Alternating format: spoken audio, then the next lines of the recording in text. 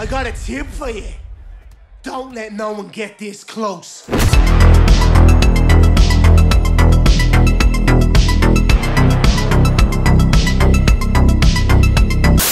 Hi guys, my name is Barry and welcome back to the channel. Today I'm going to be doing a review for Jake Gyllenhaal's Roadhouse, the 2024 Amazon Prime original. This is the remake to the 1989 classic Roadhouse starring Patrick Swayze.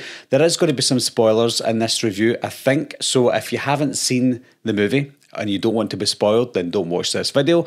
However, if you don't mind spoilers or if you've seen the movie, then continue watching. As with a lot of remakes, they are panned before people even see them. There are some people who don't even want to watch it, they refuse to watch a remake in fear of the original being ruined. I'm not sure how that happens, but that's their words, not mine. And I'm not like that. I love original movies. I love the original Roadhouse but I always give remakes a chance. And if they turn out bad, then fair enough. If they turn out good or great, then even better. But no matter if a remake is good or bad, it shines light on the original. I know people who haven't even seen the original Patrick Swayze Roadhouse from 1989. And because this new Jake Gyllenhaal movie comes out, guess what? They go back and watch the original, whether it's before or after the remake, they still go and see it. So if it wasn't for the remake, then they probably wouldn't have went to see the original classic from 1989. Now it's hard to do a review for a remake without comparing it to the original, so I'll probably do that from time to time. And this one, and this movie, the new one, it still follows the same beat as the original film, but it does have its own mark and its own stamp on it. Obviously, with the backstory of Dalton in the remake, he was a disgraced UFC fighter. Now, the good thing about this story is you don't get told the full story from the beginning. You can kind of get the gist of it throughout the film, but it, it spoon feeds you slightly certain bits throughout the film. And we find out near the end of the film that he was a disgraced UFC fighter because he was fighting against his friend most of them are friends anyway. He was fighting against his friend and he won. But after he won, he was so angry that he kept on going to the point where he killed him by accident. So that was why he was a disgraced fighter and he left the UFC. If you look at the original, the original was just a bouncer going to bounce at a roadhouse, whereas in this one, he is a disgraced UFC fighter who goes to be a bouncer at the roadhouse. So, in terms of backstory for Dalton, I actually prefer the remix Dalton over the original one because the original one was just a basic bouncer, whereas this one, he's got a bit of a backstory and there's something about him that when you're watching the film, you're like, maybe people he's fighting against are not safe because he can flip a switch and he can go over the edge. This one's also got a different feel to it than the original one. The original one feels kind of dark and grungy and obviously late 80s, whereas this one it's set in Florida Keys, so it's a more lighter looking movie, more fresh looking movie as well, but it's still got that sense of 80s to it. There was not one moment throughout this film I didn't think this feels like the 80s because it did. It felt like the 80s all the way through it. I don't know if it was intentional or if it's just the way the story went because it was an 80s style story, and that's what I'll go on to in a minute. But the look and the aesthetic to this, it was kind of like Miami Vice style, obviously set in Florida. It felt like a Miami Vice late 80s action film that you don't see today. When it comes to the story, I don't think you can do stories like this that we got in Roadhouse today and make it work. But because this is a remake of an original classic from the 80s, I think it does work. You don't see very often these days that kind of guy get into a certain situation and being the good guy, but you're always fearing for the bad guy in it. You don't really get that these days in films. They don't write them like they did back then. So I'm glad that we brought a film out today that mimics a movie from the 80s so that we can get a story like that. And because we don't get stories like that today, it was refreshing to see. The standout of the film was, of course, Jake Gyllenhaal. And if we can all take anything away from this remake, is Jake Gyllenhaal makes this film. I think he's got that charm to him. He's got that cheeky smile. He's he's always smiling throughout the film, and I don't know if that's a trait of the character Dalton or just Jake Gyllenhaal because if you look in other Jake Gyllenhaal movies, he does smile quite a lot, and that's something that is quite good about Jake Gyllenhaal. He's one of my favourite actors. He has been since Donnie Darko in 2001. So for over 20 years, I followed this guy's career, and not once has he been terrible in a role. So I know that there are some negativities behind Roadhouse, the new one, But I think what a lot of people who even didn't like Roadhouse would agree is Jake Gyllenhaal steals the show. We can't talk about Roadhouse without talking about Conor McGregor, of course. Now, I'm from the UK, so I know more about Conor McGregor than maybe you guys do in the US and Canada.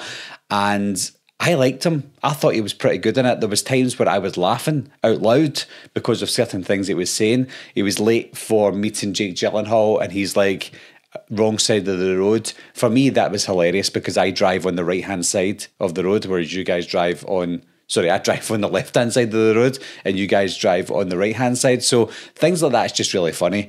Was he a great actor? Obviously not. He wasn't a fantastic actor, but I think there's something there with Conor McGregor. There's something about him that he is a bad guy. He wants to be a bad guy in films, and he looks like he could play the part of a really cool bad guy. And in this one, I think he was actually decent. I don't know what people are watching. I see people online saying he was terrible, never let him act again. Whereas I'm watching him and I'm laughing out loud and enjoying his performance. So I know that as well. I'm from the UK. And sometimes I found it hard to understand what he was saying. He's Irish but I found it hard to understand what he was saying. I knew what he was trying to say, but sometimes I'm like, oh, what did he say there? So people don't understand me in the US. So, and it's predominantly the US that are watching this film. So, watching a film, if you don't really understand what I'm saying, I can only imagine that you have no idea what Conor McGregor is saying in this film. So, maybe that's a distance you guys from his performance as well. Whereas I understood most of the things he said and I understood the jokes as well. And him coming into a film butt naked as well is genius. And then leaving the film butt naked as well in the mid credit scene is also genius. So I'm going to stick to my guns here, guys, and say that this is so far the best film of 2024. And you're you'll be scratching your head thinking, are you even being serious here? I am being serious. I've not seen a lot of films in 2024, so that's one aspect to it. It is still March, so we're still in the first quarter of 2024. And before you ask, yes, I have seen Dune 2. Dune 2 was my favourite film of 2024 so far until Roadhouse. I just think that Roadhouse, now, this is maybe this can help you gauge why I think Roadhouse is better than Dune 2 I'm not a big Star Wars fan. I'm not a space epic fan, sci fi fan. I do like sci fi movies, like action sci fi and horror sci fi. But when it comes to pure fantastical sci fi like Dune and Star Wars, those movies aren't on my street. Now, Dune 2 was probably considered a really great movie, almost a masterpiece, and it probably is, but it's not my type of film. It's still a great film. My type of film is obviously horror, but when it comes to other genres like action movies and stuff, I'm your late 80s guy. I'm your point break type of guy. So when it comes to films like Roadhouse and even the remake to Roadhouse, that's right up my street. I love the the cheesy action film where the good guy gets to get the bad guy. That that's my type of action movie. So although technically Roadhouse is obviously not better than Dune 2, if somebody said to me, What movie do you prefer? What movie do you want to watch again? I would have to go with Roadhouse because Roadhouse, I enjoyed it from start to finish. Dune 2 was a fantastic film, but one that you can't watch all the time, especially with the length of it. So I would have to choose Roadhouse. So if somebody said, Here's all the movies that you've seen so far in 2024, pick one to watch right now, I would say Roadhouse. So therefore, for me, guys, at this moment in time, again, it's still March 2024.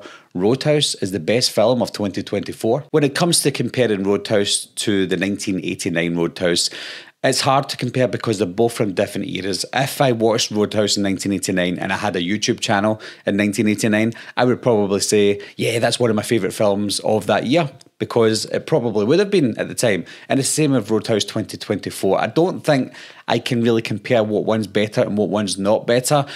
If I have to choose one right now, I would probably slightly say the 2024 one, only because of the backstory of Dalton in this one. I prefer over the original one, but it's not to say that the original one's not anywhere near as good. I just, at this moment in time, I would say the 2024 one. Maybe over time, the the 1989 one will be better. I don't know. But at this moment in time, I think the 2024 one is the better one because of the performances of some of the actors in it. Obviously, Jake Gyllenhaal and Conor McGregor are the two standout performances for me, but everybody else was pretty good in it. You had Ellie, Ben, Frankie, all the different characters in this one was pretty good. They are a lot different from the characters from the original one.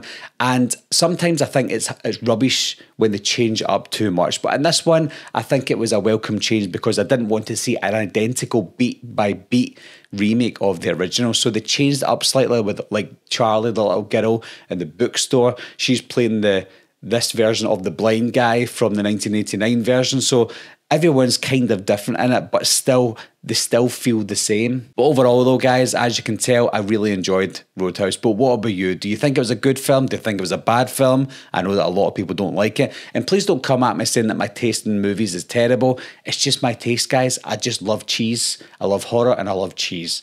But anyway, leave your comments down below. Let me know what you think, and I'll talk to you soon. Meeting adjourned.